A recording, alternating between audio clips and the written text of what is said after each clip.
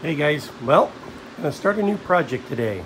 The laser over there has been doing its thing, but on the print bed, um, I am starting a rebuild of one of my favorite toys from, what, three years ago.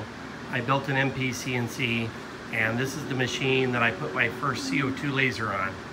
Uh, it uses EMT conduit, um, 3D printed parts. Uh, you guys can look it up, you get the idea. I am gonna tear this completely apart and I am going to build the third generation called the Primo. So I got my parts from V1 Engineering and I have started printing all of my plastic parts. I even got a brand new um, 800 watt air cooled spindle that I'll try on it. Um, I have my 500 watt one down there as well as my, my DeWalt uh, 660. So uh, I'm going to get this thing turned back into a basic mill again so I can start doing uh, more 3D-like um, carvings, either in acrylic or wood or whatever I want.